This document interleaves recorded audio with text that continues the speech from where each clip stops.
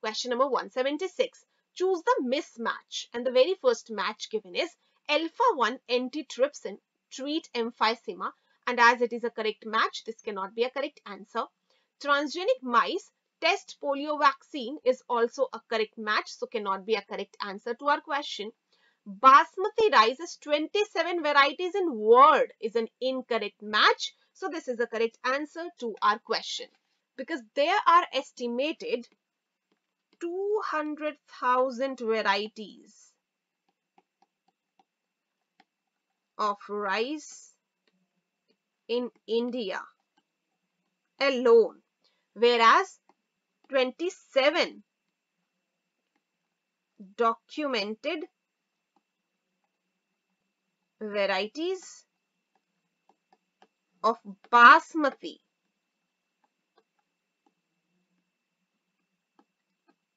rice in India. So 27 varieties in India would be the correct match. The last match given is Pseudomonas putida clearing oil spills is also a correct match so cannot be a correct answer to this question and the correct answer to this question is option number 3. Let's proceed to the next question. Question number 177. Biopatents are not awarded to inventors if the invention is and the options are non-obvious, documented, well-known, useful for human beings. Biopatents are awarded to inventors if the invention is non-obvious, well-known and useful for human beings. So these cannot be the correct answer. And if the invention is documented already, then the biopatent cannot be awarded to the inventor. So this is the correct answer. The correct answer is option number 2. Let's proceed to the next question. Question number 178.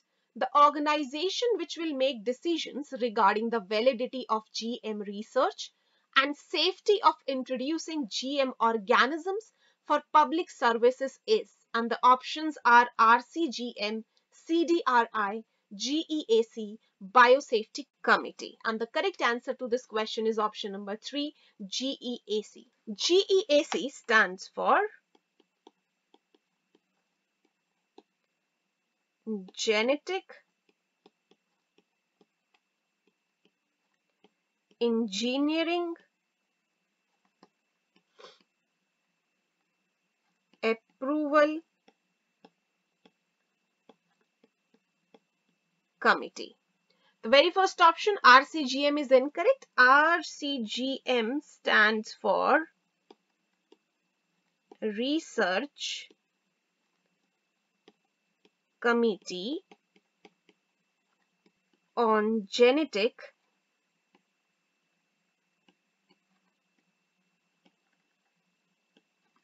Manipulation.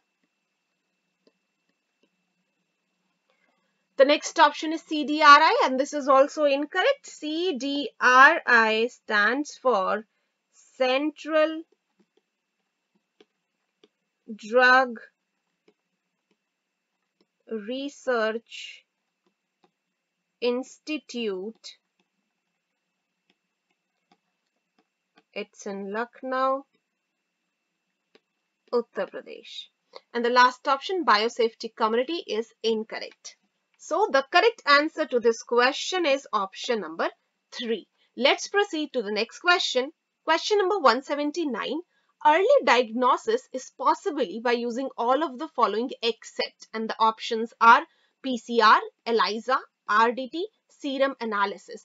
And the correct answer to this question is option number 4, serum analysis. Serum and urine analysis are traditional methods of diagnosis in which early detection is not possible. On the other hand, polymerase chain reaction PCR, enzyme-linked immunosorbent assay ELISA, recombinant DNA technology RDT are the methods for early diagnosis. So the correct answer to this question is option number 4. Let's proceed to the next question. Question number 180. BT brinjal is a transgenic crop that and the options given are provided herbicide tolerance and this is incorrect. BT brinjal does not provide herbicide tolerance.